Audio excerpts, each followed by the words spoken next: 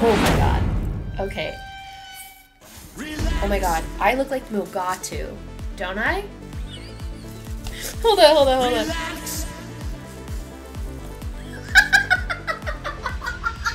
Hi friends! I am excited today because we're going to be trying out a purple hair mask and I want to see if it's going to do what it says it's going to do. I'm going to try this.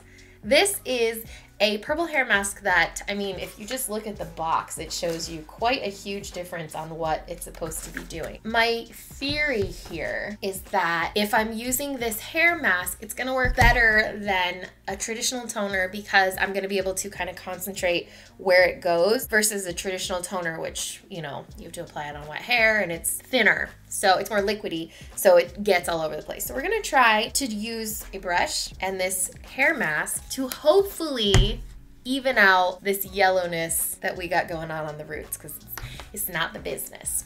Got this, this the Bold Unio Unique, unique, that is a Q, not an O. Bold Unique, uh, purple hair mask. So I've used this in the past, but as like an all over mask, and I've never really done it as like a spot treatment mask, which sounds really weird to say, but I'm kind of excited. We're gonna see how this goes. Hopefully it works. If it doesn't, then I will just dye my hair all a darker color so it kind of matches. Okay, this came with gloves, which I actually do appreciate because I know that this mask is uh, real purple, like stain levels purple. It has a little booklet too, so let's see what it says. It says, you gotta read this. Focus? Hello, focus? Hello, focus. You gotta read this. Think back to school. Purple is directly across from yellow on the color wheel, meaning that they cancel each other out. This revolutionary pigment. You know what? I want to learn how to do like like a voiceover voice so I can read some of these because every time I read these, I read them in like that. Think back to school. Purple is directly across from yellow on the color wheel, meaning that they cancel each other out. Like I just, I really want to master that. Okay, it says wash your hair first. No. Always use on clean hair. I'm not washing my hair. No. Remove any product buildup. No, I'm not doing that. No, I'm going to do this on dry hair. Towel dry and apply. Do a strand test. I will do a strand test. Okay, so it says if you do too far, if you've overdone it, you can just use a normal shampoo a couple of times, then we'll remove the violet tones and blow dry and straighten. Any purple tones will miraculously evaporate, leaving you with your look you desired. Phew, panic over. I feel I'm gonna like end up not listening to this. Good thing I read the directions so I could ignore them. I feel like for my specific thing, it's not an all over toning, right? So it makes sense to not do this. I can understand why it would say to do this on wet hair, like if it was just an all over, but we're not doing all over. So I'm brushing out my hair right now so I can look like real cute. So when I brush it out, you could definitely see the difference between the roots and the length of my hair. Wow, that's a look. You know what I look like when I do this? Oh my god, I look like Mugatu, don't I? I gotta look it up now. Hold on, hold on, hold on.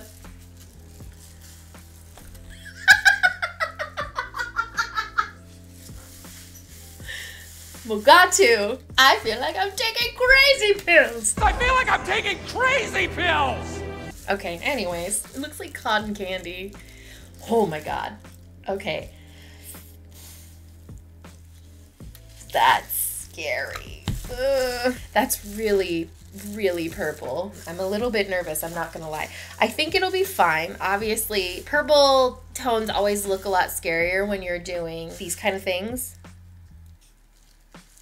So the main thing I'm gonna try and like pay attention to here is not trying to like blend it upwards because I think that's what I originally did. I was trying to like balayage my hair or something and it ended up looking like so silly because all it did was make the rest of it a lot darker.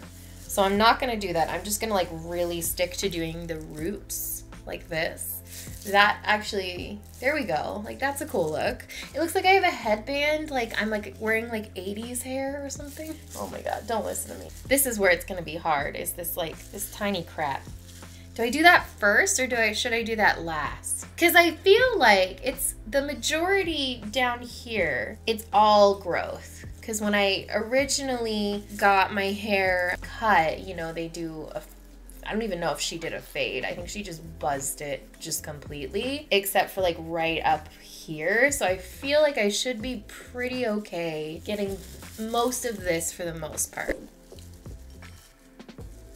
Apologize to every single hairstylist out there. The amount of videos that I've made that have probably just made people who have actually taken the time to learn how to do hair just they just shake their heads at me in shame. I know. I know. Listen, we all have our things that we think we can do ourselves. and mine is hair. I think I can do it.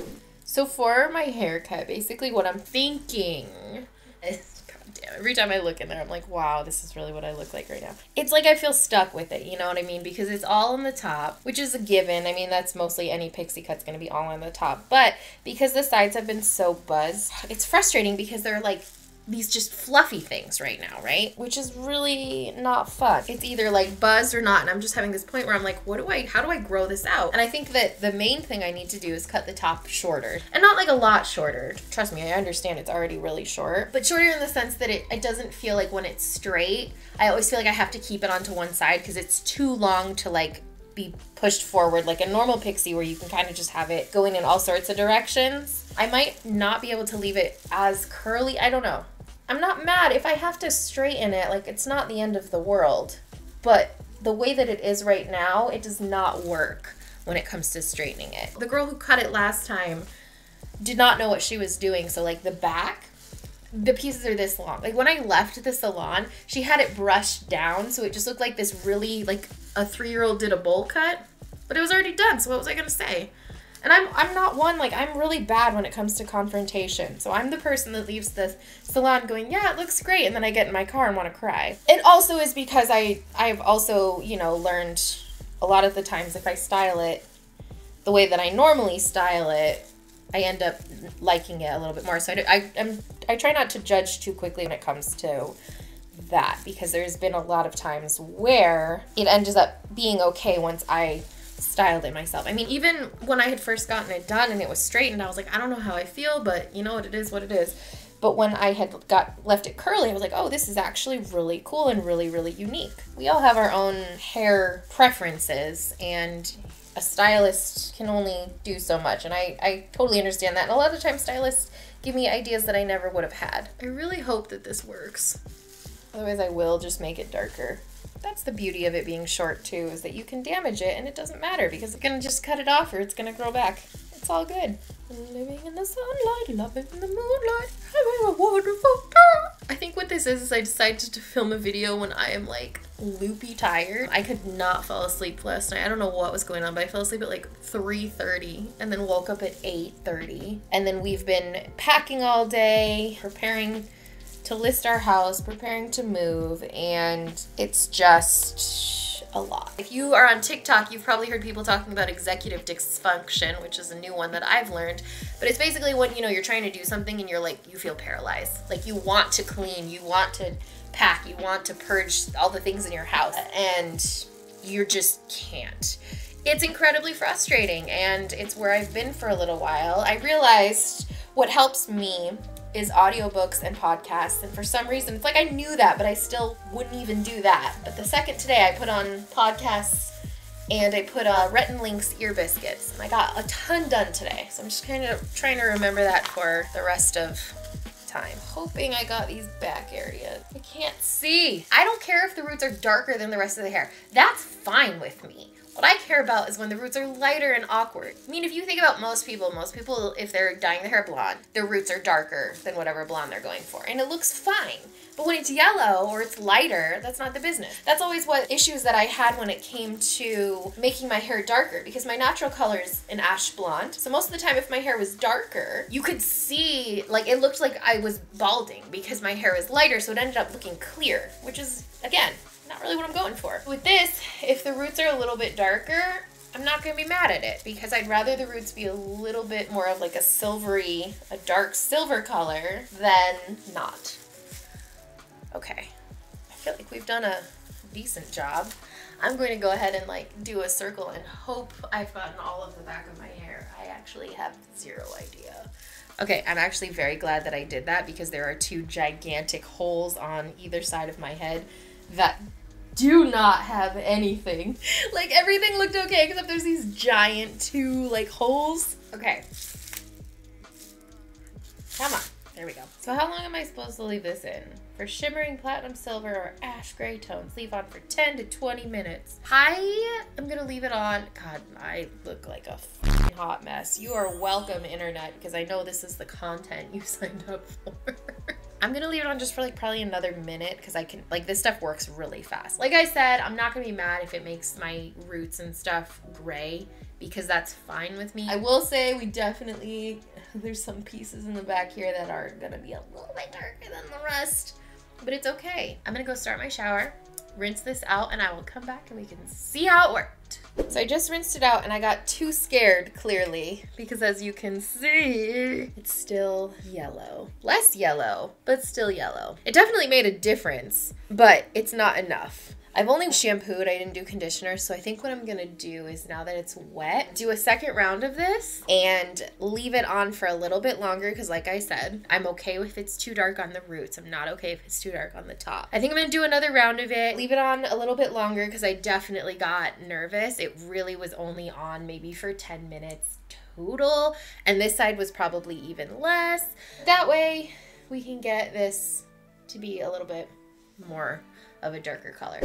All right, guys, so I totally forgot to film after re-putting the conditioner in and all that stuff. And then I got my haircut yesterday. Woo! But let me just get to the, the nitty gritty of this. So I did another round of the conditioner and I left it in for longer and it still was not enough. So then I used an actual toner. I used Wella T18. That's kind of like the standard at Sally's. It's the lightest pale blonde toner. So I used that and that definitely helped. You can see up here, it's still a little bit yellow. We're still not there. I mean, it's still very at home hair dyeing, I know, but it's a lot closer. I still, what I'm gonna do since I got my hair buzzed, like the backs all buzzed and stuff, once I wash my hair, I'm going to just do the whole back with toner and just leave it so that it just really nukes out all of that brassiness.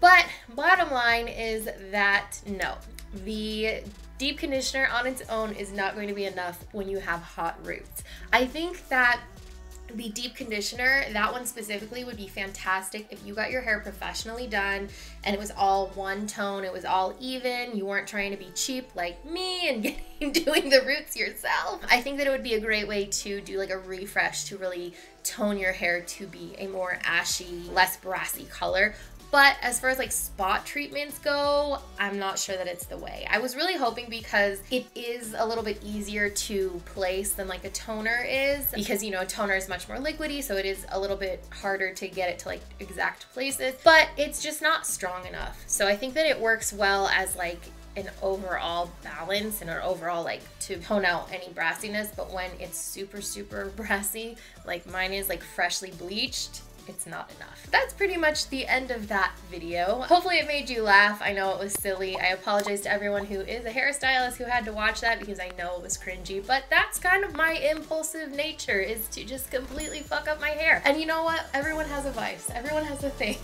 Mine is my hair. Alright guys, thank you so much for watching, subscribing, hanging out with me, and I'll see you next time. Bye!